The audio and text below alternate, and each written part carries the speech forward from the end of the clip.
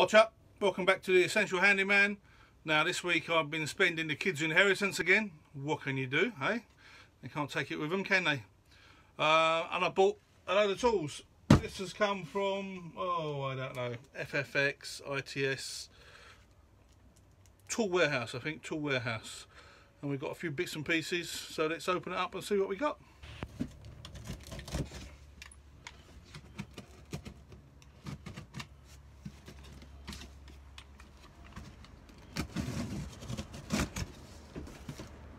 Got in here?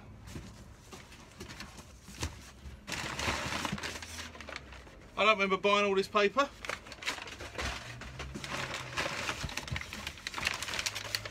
Have it and a half. The world's biggest box. There's two thirds of it's full of paper. Bloody trees. I suppose I should be saying anything a woodworker saying that, should I? Right, okay, right. First thing we got, we got some more Irwin clamps.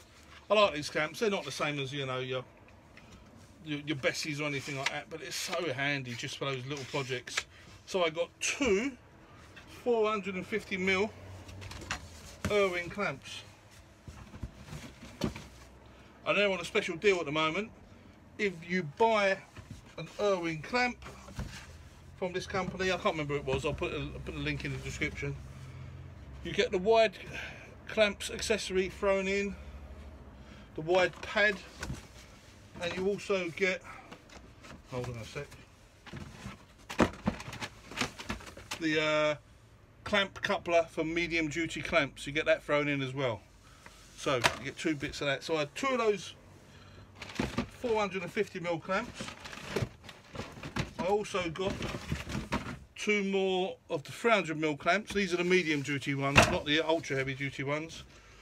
And, and we got another two pairs of pads for those. So we've got four pairs of wide pads for the four clamps. The 300, 350 mil did I say? The 300 mil uh, drawer opening size. You also get another one of these extenders as well, which you probably won't use, but they're handy for the bigger ones that you've got. Um, I got fed up of oil stones. I've got a load of oil stones and a load of uh, water stones. And I can't for the life of me remember which one's water and which one's oil. And I've got some other ones thrown in at a car boot sale and tool hauls, etc. And I think I put oil on the water or water on an oil. And I put the square on them, the level on them, and there's a couple of undulations. So I bit the bullet and I bought a diamond whetstone kit. Now we've got 400 grit, 600 grit, 1000 grit, flat as you like. Faithfull, which are a fairly good brand. So we've got some of those, so we're going to be sharpening up some tools and some chisels, etc. soon. I also got a set of, uh, and I haven't got any of these yet, because I tend to use drill bits and then I change, you know, take that out, new chuck, put a uh, countersunk bit in it, and I got fed up of doing that, so I bought a set of five countersunk uh, Trend um, drill bit so you can drill and countersink at the same time. These have been around for years. I was just so slow to get to the party sometimes. Useless. Uh, Vernier calipers. This is a fairly cheap one. I think these are about 30 quid. Uh, obviously these start from about 20 quid and go up to over 100 pound. So this is a fairly cheap set. Should do the job though, you know, for measuring those internal and external angles. I'd like to get into a little bit of um, wood carving. I've got to buy myself a lathe first, but first things first. I need to get a bigger workshop probably, but bought myself some Vernier calipers. I bought myself some uh, set of Wera or Vera, Wera, whatever the Vera, Vera Lynn's will you'll walk alone. Hold on, how was it? You will never stand alone or something. I don't bloody know. know battery's running out.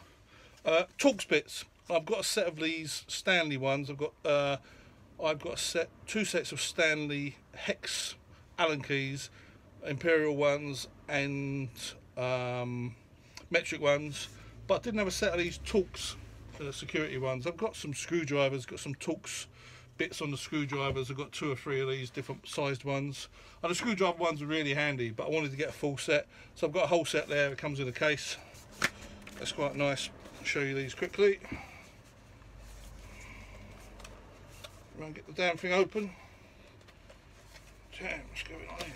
It's like the Krypton factor. Okay, so these are our Torx bits. And they've got the, um, one of them's got the hole, I think it's the number four. It's got the hole underneath. A couple of the big ones for the security settings, so you've got the holes at the end of them.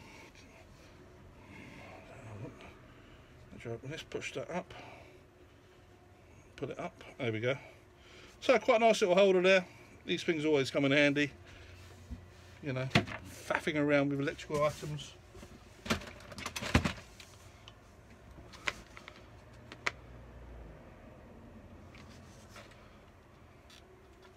A new Stanley Fatmax um, riveting gun. I have one of these, but it's died on me. It doesn't work anymore, so I'm gonna just gonna bin it.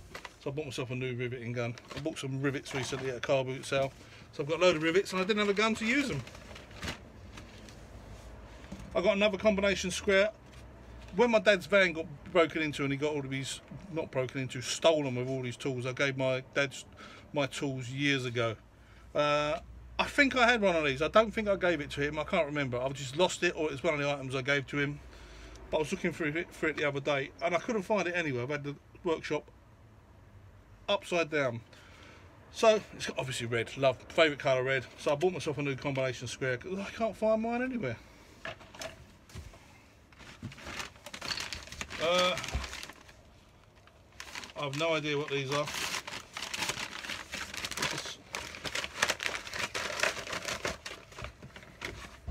Oh, some spring calipers because I've got some. I've got some internal calipers at a car boot the other week and I realised I don't have any external ones. So to go with the vernier gauge and the internal calipers and external calipers. Oh, got some hammer wedges uh, and the bolts are going on. I like these round bolts. I've never used those before. Thought I'd give those a go because I've got some sledgehammers and some pittocks and some mattocks and stuff like that to put together. I've got a load of handles couple of different size handles. I wanted to try different size handles um, for some files. I bought a load of files recently that didn't have handles or had rubbishy split handles at the car boot sale. I've got a four inch handle and a three inch handle, so I'm going to see the difference, see which one's more comfortable. I mean, they're like 60p each, so what does it matter? I'll buy another half a dozen of those. Uh, and some more Scutch hammer combs I found my Scutch hammer the other day, and there's I've got one comb. I don't know where the other one is. Uh, one end's got a comb, one hasn't. So I need to get some more Scutch combs. Uh, that's the end of that box. I am refurbishing a, a sledgehammer handle at the moment. I've got one side almost done, but it gets so hot on the sander I have to keep stopping. It's taken me a few days. So this side's almost done nice and shiny. That side's still got some pitting and this side I've just hit it for a while. But I didn't have a handle so I bought myself a nice sledgehammer handle. That's going to go in there. And this thing's nice and long. It's a Faithfull genuine American hickory 36 inches long. That was pretty cheap. I think that was only about seven quid. So I'm quite happy with that. And I also bought myself normally I'll just go down B&Q and buy stuff like this, but I bought myself a wooden broom handle because my, my, my broom died on me. The handle fell off of the head. I thought rather than uh, throw it away, as Trigger said, I want my original broom. Only 36 different heads and 45 different handles, or whatever the number was. Original um, broom. Did you know? Road sweepers have got a, a, a stand that's been handed down through generations look after your broom. You Americans may not get that. The English probably will. Good old Trigger, hey?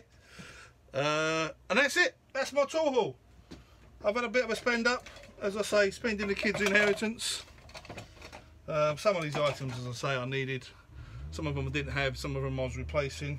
Uh, I guess it's just retail therapy. Sometimes you just like to buy tut or useful stuff. And when you start, you know, going back into your workshop after a long time, or start out doing some bits and pieces, and you're looking around and you know you've got to do X for a project and you haven't got it. Like at the moment, I haven't got a chop saw, a table saw, or a router table, or a band saw. I don't know all those items are on the list soon. They're going to be coming, but it's you know it's getting the money, isn't it? So this was cheaper than all of those items, even the cheapest one of those items. But it's allowed me to do some other little small projects that just keep me going and you know keep me happy in the workshop. So hope you like the um, the video. Don't forget to click on the Twitter link and the Instagram link below. Click on the bell button that says subscribe, left or right, who knows. Uh, and give us a thumbs up. That always helps build the channel up. Um, you know, all the feedback we get. Post a comment, say if you liked anything here or any of these items uh, you didn't like or you have or you know if you've got anything if you've got any of these items that you're particularly happy with or you're not happy with just post a comment. Let us know you're watching and uh, I'll see you soon. See ya